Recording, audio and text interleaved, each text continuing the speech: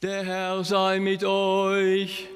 Und mit deinem Geiste.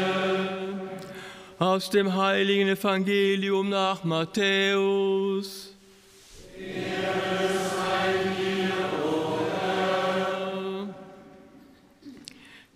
Mit der Geburt Jesu Christi war es so. Maria, seine Mutter, war mit Josef verlobt. Noch bevor sie zusammengekommen waren, zeigte sich, dass sie ein Kind erwartete durch das Wirken des Heiligen Geistes. Josef, ihr Mann, der gerecht war und sie nicht bloßstellen wollte, beschloss sich in aller Stille von ihr zu trennen. Während er noch darüber nachdachte, erschien ihm ein Engel des Herrn im Traum und sagte, Josef, Sohn Davids, fürchte dich nicht, Maria als deine Frau zu dir zu nehmen, denn das Kind, das sie erwartet, ist vom Heiligen Geist. Sie wird einen Sohn gebären. Ihm sollst du den Namen Jesus geben, denn er wird sein Volk von seinen Sünden erlösen. Dies alles ist geschehen, damit sich erfüllte, was der Herr durch den Propheten gesagt hat.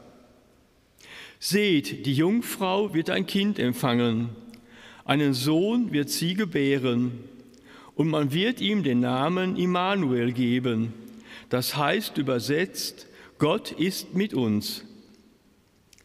Als Josef erwachte, tat er, was der Engel des Herrn ihm befohlen hatte, und nahm seine Frau zu sich. Evangelium unseres Herrn Jesus Christus.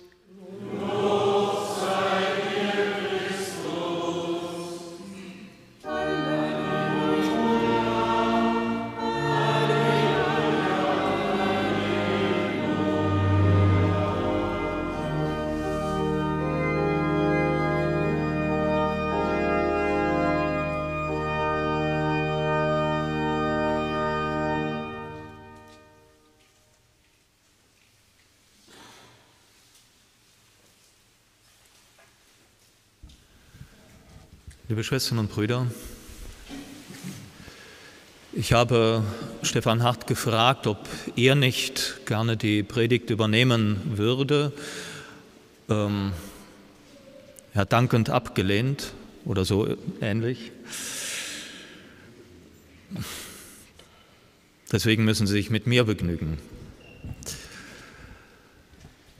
Ja, also wir haben das abgesprochen und es war ihm offensichtlich lieber und deswegen rede ich zu Ihnen über diese gehörten Lesungstexte. Ist Gott mit uns oder nicht? Ist Gott mit mir oder vielleicht doch nicht? Liebe Gemeinde, ich glaube, dass sich diese Frage wahrscheinlich jeder Mensch, zumindest jeder gläubige Mensch, irgendwann einmal in seinem Leben stellt. Sicher am wenigsten diejenigen, die nicht an Gott glauben und selbst unter diesen wird es den ein oder anderen geben, der, wo diese Frage auf einmal aufbricht. Für die, die nicht nicht an Gott glauben, aber für die Gott keine so große Rolle im Leben spielt, ist es vielleicht gar nicht untypisch, dass bei manchen doch in Notsituationen die Frage auftaucht, ja, wenn ich dich bräuchte, dann bist du nicht da oder ist er nicht da. Vielleicht gar nicht so selten. Aber auch bei denen, die sehr tief und fest im Glauben verwurzelt sind, gibt es Lebenssituationen, in denen auf einmal diese Frage auftaucht.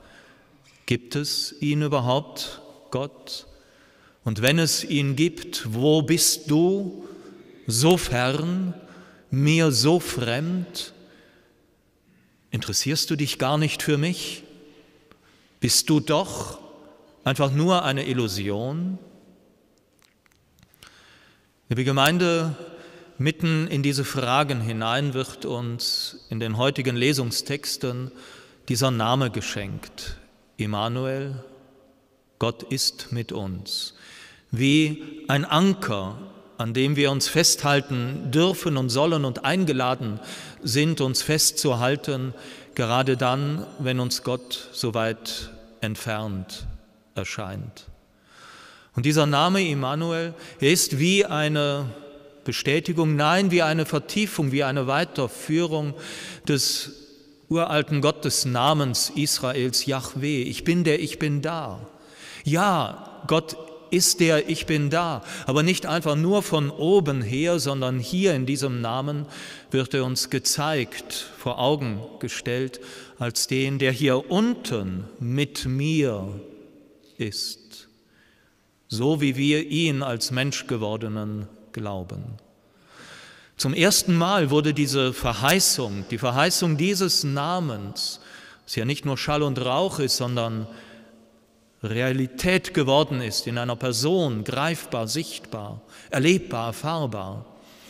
Einem Menschen, der, wo wir eigentlich sagen würden, er ist gar nicht würdig, diese Verheißung empfangen zu haben und auch das typisch für alten und neuen Bund, dass nach Würdigkeit gar nicht gefragt wird. Ahas, König im Südreich in Juda, um 730 regiert er ungefähr 16 Jahre.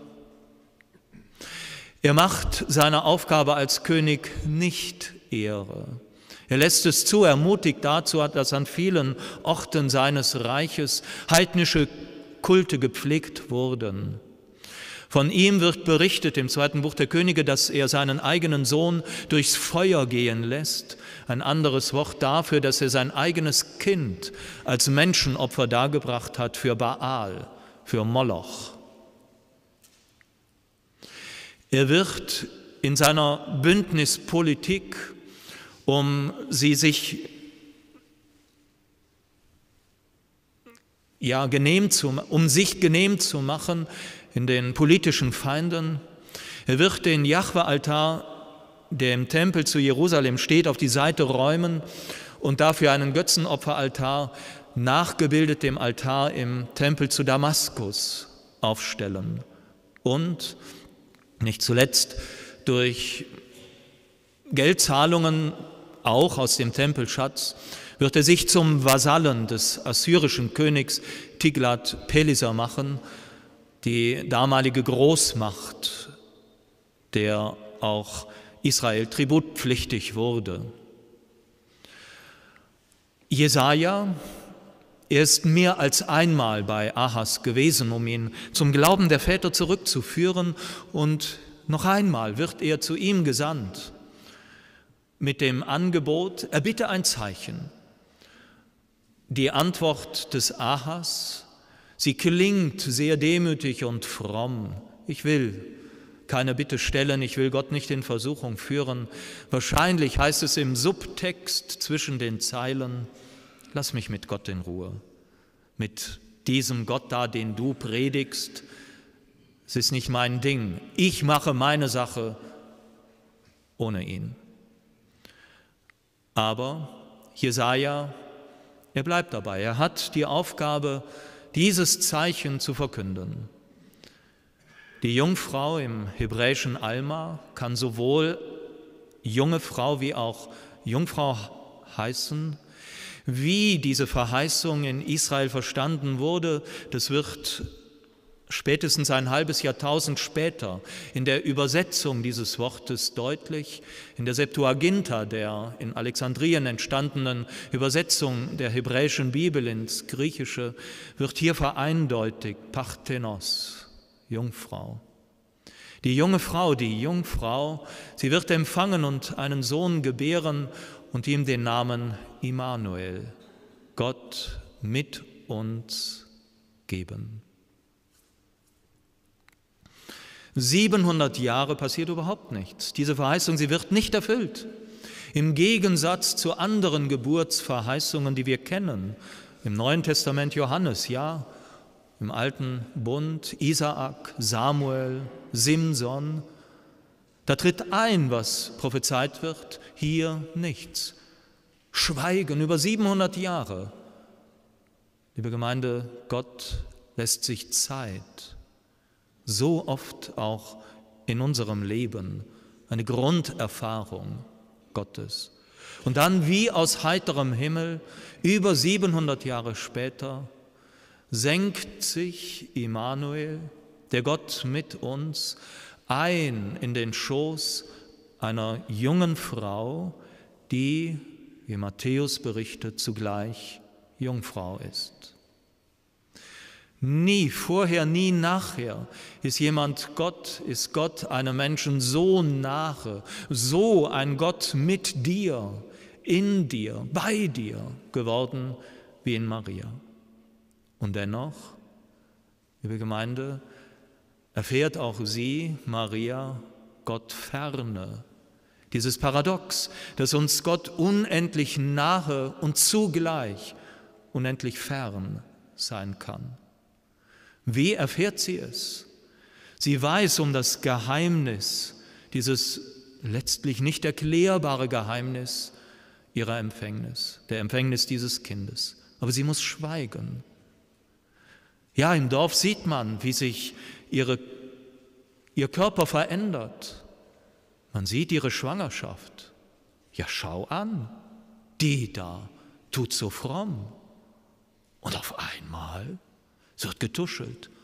Und Maria muss schweigen. Wem soll sie erklären, was hier geschehen ist? Und viel schlimmer, Josef erfährt natürlich auch, meine Frau, meine Verlobte, damals noch, ist schwanger.